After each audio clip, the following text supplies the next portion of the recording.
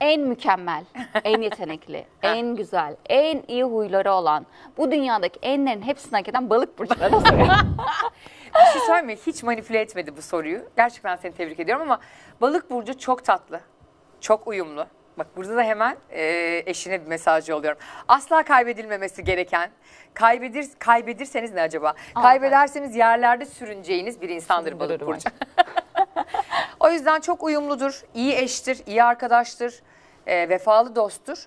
Balık burçları sadece mesnetsiz bir duygusallıkları vardır. İbrahim Tatlıses gibi böyle her şeye ağlarlar. evet. İbrahim Tatlıses de böyle bir de Beren Saat tek gözüyle ağlar ya. Benim ikisiyle akıyor ve ben, Ben, ağlarım. asla. Ben dünyanın en çirkin ağlayan insanıyım. İnşallah hiç denk gelmezsiniz. Böyle yerleri tekmeleyerek alırım. Ee, ama balık burcu ile ilgili söyleyeceğim en temel şey dışarıdan gelen etkenlere çok açık. Eleştiriye de övülmeye de. Yani e, mütevazi bir burçtur ama aslında onu mutlu eden şey böyle iki tane tatlı cümle söyleseniz, biraz gönlüne alsanız en kolay idare edecek burç balık burcudur. Çocuk ruhludur çünkü. Yani onu kırmak, üzmek bayağı mesai ister.